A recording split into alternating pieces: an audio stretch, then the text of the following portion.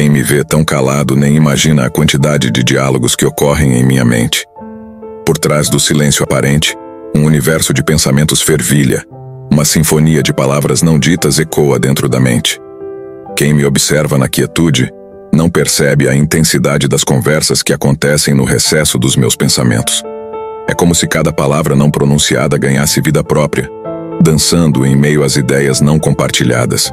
São diálogos silenciosos, debates internos, reflexões que se desdobram em um emaranhado de sentimentos e considerações.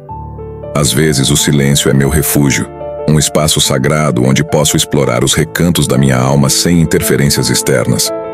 Nas entrelinhas do meu ser criam-se narrativas complexas, cheias de nuances e sutilezas, tão profundas quanto o oceano de emoções que carrego.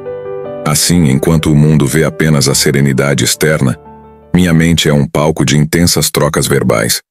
Um teatro de pensamentos que se desenrola com uma intensidade digna de uma ópera. Por isso, não subestime o poder do silêncio.